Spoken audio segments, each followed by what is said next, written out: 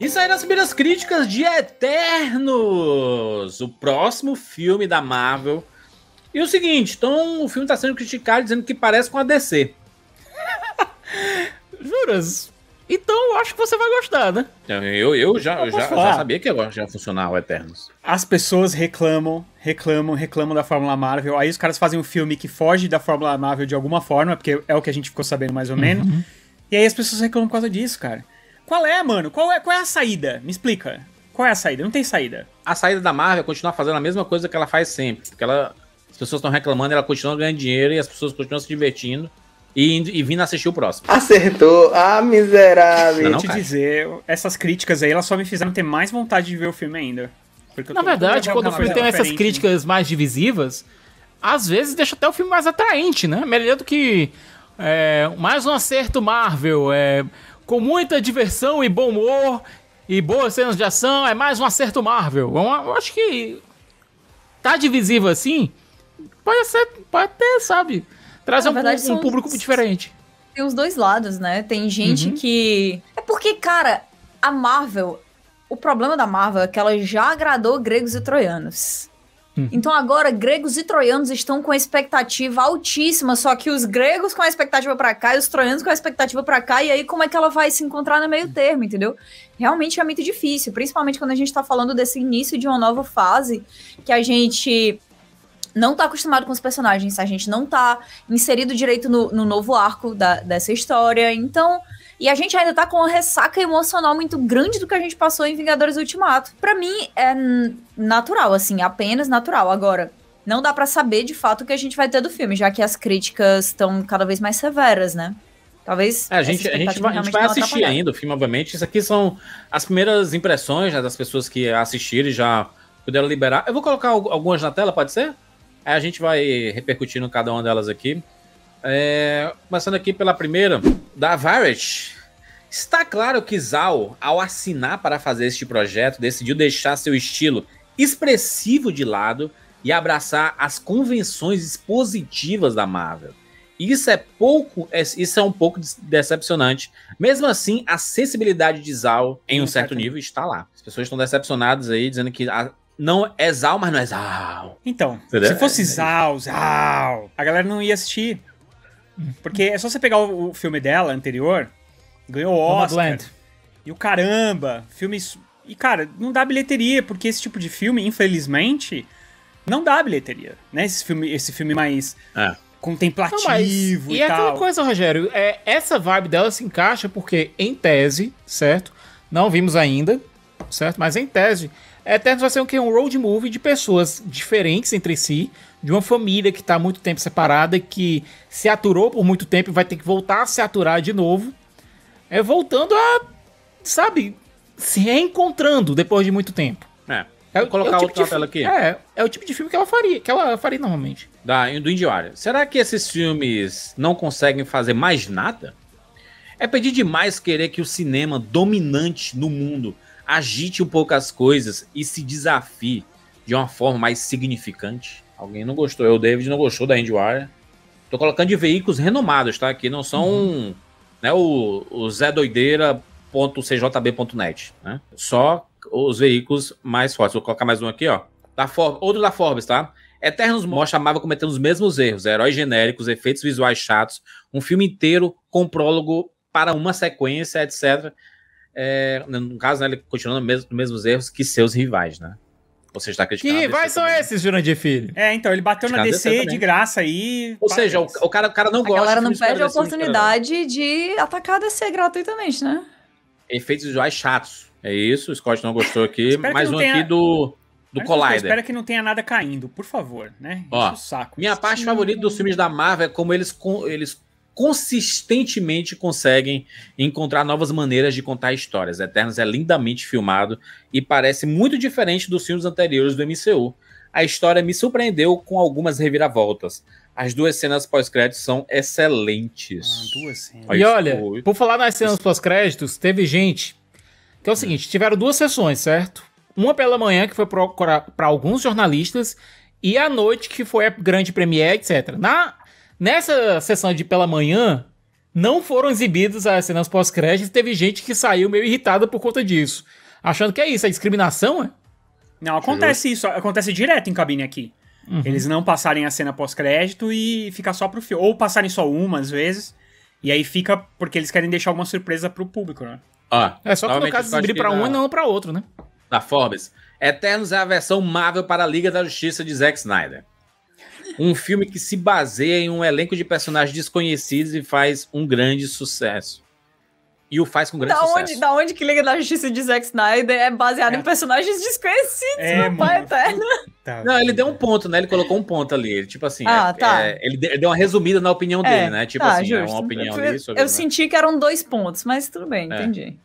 A direção de Cloizal é excelente, facilmente um dos filmes mais, um dos filmes da Marvel mais bonitos de todos os tempos. Cenas insanas é, de pós-créditos também. Scott aqui deu uma, né?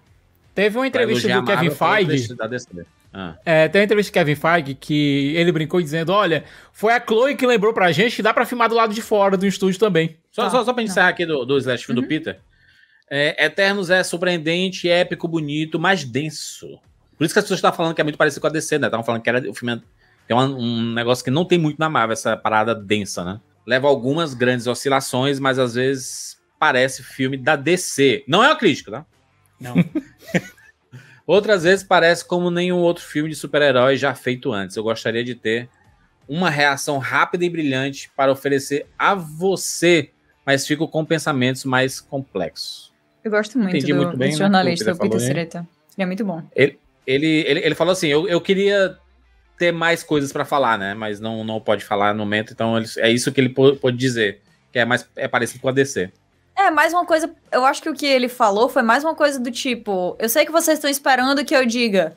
Sabe aquela corte assim? Eletrizante, realmente o filme mais divertido da Marvel em anos. Ah. Mas ele não tem uma coisa assim para dizer, porque na verdade o filme é cheio de, de. É uma apresentação de personagens e uma visão de mundo mais complexa Sim. e que evoca uhum. sentimentos que são mais complexos. Afinal, a gente tá falando de um início de uma nova história, mas que tá explorando o universo de outra ótica, né? A gente vai ver as coisas de um jeito muito maior e essa escala ela pode ser assustadora, mas ela também, sei lá, a gente tem que fazer até um uhum. exercício, assim, para se colocar no, no, lugar uhum. correto que a Marvel tá querendo que a gente fique agora com E, gente, é um filme que, de duas horas e meia que tem que apresentar dez novos personagens, né? É muita gente. É, é muita é, gente. Sabe? E a Chloe Zhao, ela consegue... Tem, e tem que justificar também, né, a ausência deles no, dentro do... Não, eles têm que posicionar. Não tô frescando. Não é, não é ironia. Não estou aqui ironizando, viu? Estou aqui dizendo que eles precisam real justificar como que seres tão poderosos como os Eternos estavam na Terra e eles simplesmente não, não participaram desse negócio, entendeu? Não, não interferiram em nada e tudo mais. Eles deram uma de vigia, tá ligado? Então eles precisam real justificar e não vai, não vai ser com duas linhas de trailer, né? Ai, nós não, nós não participamos, porque. Não, não, tem que dar um justificativo. Eles são muito poderosos para eles não terem ajudado é, na, na, saga do infinito. Né? É, mas o que a gente já sabe pelos próprios trailers é que eles não vão fugir dessa discussão, né? Uhum, Eu acho que tá ok. Eles não, passam, não precisam passar também o filme inteiro dizendo desculpa, não fizemos nada, sabe? Constrói bem os personagens. Por alguns, e até é por alguns spoilers que vazaram, né? A gente já sabe que eles vão no âmago da questão, né? De algum modo, mas vão. Eu não sei quais foram os spoilers que vazaram e eu prefiro e não, não vaze, saber. Por favor, também gostaria de não saber. E já, já silenciei, já silenciei o Siqueira há duas semanas, quando ele soltou um spoiler sem querer. Cleiton, eu vou deixar você responder essa pergunta que você fez. Qual a classificação indicativa de Eternos? Você mesmo vai responder. Estamos falando de um filme Marvel. Cara, hum. pelo amor de Deus, a Marvel não vai fazer isso. Não, não vai fazer. Não tem Apesar de ter Mas, olha, de, de, de transa. Vai ter. E outra discussão grande que tá tendo é o seguinte: existem personagens gays no filme, certo? Hum. E a Chloe Zhao, ela tá brigando para não ter corte cortarem. do filme, é, não cortarem em alguns mercados que não, não curtem muito isso, sabe? É isso aí. É, eu China, acho né? Tá, tá China, é, apontando diretamente pra China, né? Nossa, é muito é, revoltante que essa discussão ainda esteja acontecendo. Assim, é inacreditável que a gente Não, e, e Kati, por conta disso, a gente sabe que tem países que têm uma política é, contra a população LGBTQIA+, muito forte. E são países relevantes do ponto de vista mercadológico, vide Rússia. Então, por, pela existência de personagens homossexuais no filme, personagens queer no filme, parece que na Rússia Eternos vai ganhar uma classificação indicativa bem alta. 18 anos, pelo que tá, estão uhum. falando aqui. É um absurdo, né, cara? É, é. é, mas é isso, é atraso é atraso, né? Vou, vou, compensar notícias ruins com felicidade e continuar né? Arthur falou assim, ó. Eles citaram o Superman no trailer de Eternos. Isso quer dizer que o Icaris, né, cara? O Icaris. É, se você ver até, até no próprio trailer de é. Superman existe, Siqueira.